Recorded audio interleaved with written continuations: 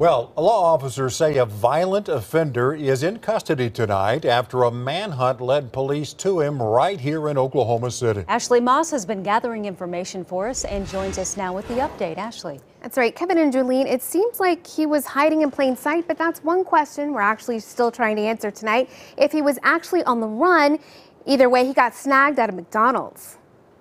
It appears this fugitive on the run was foiled by fast food. Ricky Roman Spencer, that's the man you see on your screen, was arrested Thursday night by Oklahoma police officers who spotted him at this double decker McDonald's near Northwest 23rd and North Pennsylvania Avenue. Investigators told News 4 they were assisting with the U.S. Marshals Metro Fugitive Task Force to pick up the man who's suspected in a murder that happened in Dallas County, Texas. He's already well known to authorities here in Oklahoma for multiple offenses, including burglary, obstruction, assault and battery, and a prior escape after arrest. Most recently, Spencer had outstanding Oklahoma County warrants for two felony counts for possession of a firearm by a convicted felon and one felony count for discharging firearms in a public place. He's been booked on those charges and is also being held without bond for flight to avoid Dallas County. Additional details about the arrest, including formal charges, are expected in the coming days. But tonight, authorities tell News 4 this wanted fugitive is off the streets.